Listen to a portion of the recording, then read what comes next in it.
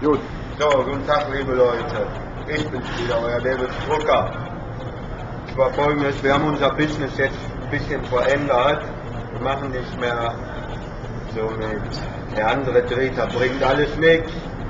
So, pass mal auf. Warte mal. Machen wir hoch. Ich hab verkehrt rum. Siehst du?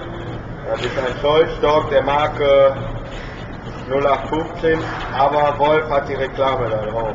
Da steht da ist ein Patent. Real.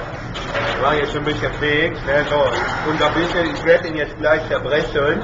Vor ihren Augen werde ich ihn zerbrechen.